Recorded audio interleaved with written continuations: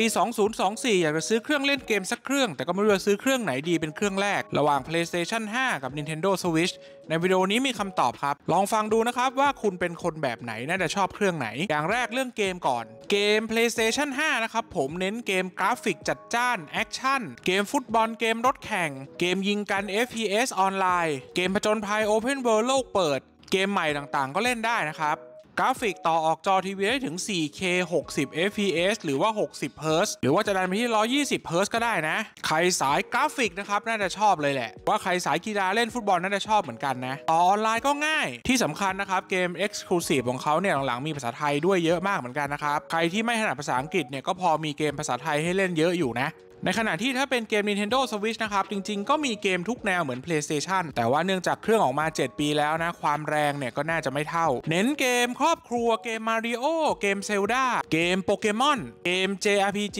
Turn Based วางแผนต่างๆ เกมเล่นกับเพื่อนนะครับ Couch Co-op นั่งเล่นหน้าทีวีนั่งบนโซฟากัน 3-4 คนเพลินๆ แล้วก็แน่นอนเกมฟาร์มสำหรับน้องๆหนูๆก็มีเยอะนะครับ สิ่งที่อาจจะไม่โดดเด่นของ Switch คือการออนไลน์ ซึ่งณปัจจุบันรู้ไหมว่ายังทำได้ไม่ค่อยดีเท่าไหร่เมื่อเทียบกับ PlayStation นะ สรุปเรื่องเกมนะครับ ถ้าเอาง่ายๆถ้าชอบกราฟิกจัดจ้าน action จ๋าๆ ออนไลน์บ่อยๆ คุยกับเพื่อนนะครับ PlayStation 5 เนี่ย น่าจะเป็นทางเลือกที่น่าสนใจ แต่ถ้าเน้นเล่นคนเดียวเป็นหลักนะครับ เน้นเกมวางแผนเกม JRPG เกมชิลๆสนุกๆน่ารัก เล่นเพลินเหมือนกันนะ Switch ก็น่าสนใจเหมือนกันครับ ในเชิงการเล่นนะครับผม PlayStation 5 ต่อออกทีวีเป็นหลัก แต่ถ้าอยากเล่นพกพาจริงๆก็มีรีโมทเพลย์นะครับซื้อพอท่อหรือว่าต่อกับมือถือก็ได้แต่ก็ไม่ค่อยสะดวกเท่าไหร่นะ แต่ว่าภาพที่ได้ก็จะสะใจนะครับผมแต่ว่าทีวีเนี่ยก็ควรจะเป็น 4K นะ เพื่อให้ภาพมันแจ่มๆแต่จริงๆแล้ว 1080p ก็เล่นได้นะครับผมแต่ว่าอาจจะไม่เต็มประสิทธิภาพเท่านั้นเอง ในขณะที่ Nintendo Switch นะครับเล่นได้กับทีวีแทบจะทุกรุ่นเลยนะขอให้มี HDMI ก็พอ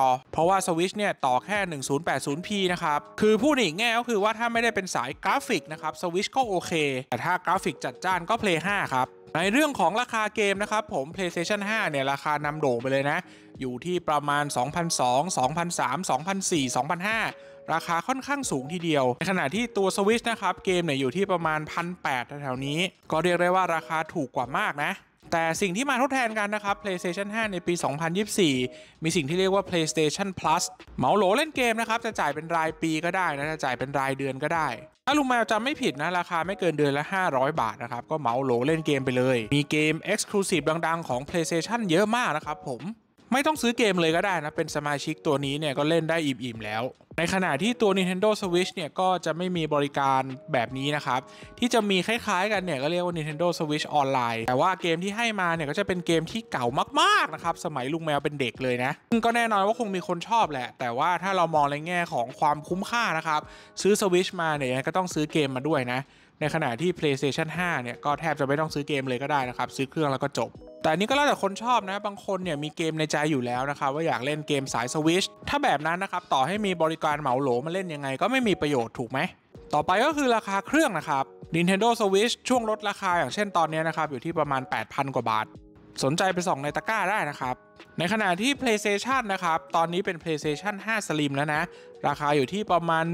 17,000-18,000 ก็ต่างกันเยอะพอสมควรนะครับ กับเงินก้อนแรกที่ต้องจ่ายไปนะ แต่ก็ต้องไม่ลืมนะครับว่าเกม Nintendo Switch ประมาณ 3-4 เกมเนี่ย ก็สามารถซื้อเครื่อง Nintendo Switch เครื่องใหม่ได้แล้วนะครับ จุดแข็งของ Nintendo Switch ที่ PlayStation ทำไม่ได้นะครับ ก็คือการพกพานะดูแม้ว่าเป็นฟีเจอร์ที่สำคัญมากนะครับ ผมนอนเล่นพกพาไปที่ไหนก็ได้น้ำหนักเบา แล้วก็หน้าจอ OLED ก็แจ่มๆเลยนะครับ ซึ่งอย่าดูเบาเรื่องอำนาจของการพกพานี้ไปนะครับผมมีหลายคนนะซื้อ PlayStation มาแล้วก็แทบจะไม่ได้เล่นเลย เพราะไม่มีโอกาสเปิดทีวีแล้วก็เล่นเกม แต่ว่าได้เล่นเกมบน Switch มากกว่าเพราะว่าได้นอนเล่น อันนี้ก็ต้องคิดดีๆครับไลฟ์สไตล์ของแต่ละคนก็ไม่เหมือนกัน ในเชิงอุปกรณ์เสริมนะครับ จริงๆ ก็มีทั้ง 2 ค่ายนะ แต่ดูเหมือนว่า Nintendo Switch เนี่ยจะมีให้เล่นเยอะกว่า ไม่ว่าจะเป็นตัวจอยเสริมนะครับ ตัวกระเป๋า ตัวดอกตัวสติ๊กเกอร์ เยอะมากมายมหาศาลเลยนะครับ รวมไปถึงเครื่องลายต่างๆ ให้สะสมด้วย ในขณะที่ Play 5 ก็มีของให้สะสมเหมือนกันนะ ไม่ว่าจะเป็นตัวกระดองนะครับ ตัวจอยนะ ตัวหูฟัง ตัว PlayStation 5 Portal PlayStation VR นะครับ จริงก็มีเยอะมากเหมือนกัน ในเชิงการขายแผ่นมือ 2 แล้วก็คอมมูนิตี้นะครับ ทั้ง 2 เครื่องเนี่ยเป็นเครื่องยอดฮิตนะครับ แล้วก็มีชุมชนที่แข็งแรงนะ การซื้อขายแผ่นมือ 2 เนี่ยเป็นไปได้ง่ายนะครับผมราคาประมาณครึ่งหนึ่งเนี่ยลุงแมวว่าขายได้สบายๆ เช่นซื้อมาพันแขายไป 900 ซื้อมา 2,500 ขายไปพันสองแบบนี้ทำได้ แล้วก็เนื่องจากชุมชนขนาดใหญ่นะครับ พี่ๆ น้องๆ ก็มีเยอะนะ ถามอะไรก็ง่ายนะครับทั้ง 2 อันเลย เพราะนั้นโดยสรุปนะครับลุงแมวว่าเป็นเครื่องเล่นเกมที่ดีทั้ง 2 อันนะแต่ว่าลองถาามตัวเองนะครับว่าแนวเกมที่เล่น แล้วก็ความสามารถในการพกพา ความจริงจังในแง่กราฟิกนะครับแล้วก็เรื่องราคาเกม กับการเหมาโหลเล่นเกม คุณให้น้ำหนักไปทางไหนมากกว่ากันนะครับแล้วก็แน่นอนว่าลุงแมวใส่ไว้ในตะกร้าแล้วนะครับทั้ง 2 เครื่อง ลดราคาทั้ง 2 เครื่องเลยนะ PlayStation 5 แล้วก็ Nintendo Switch OLED สนใจไปส่องกันได้ครับแล้วคุณล่ะครับเลือกเครื่องไหนนะ แบ่งปันกันมาได้ครับผม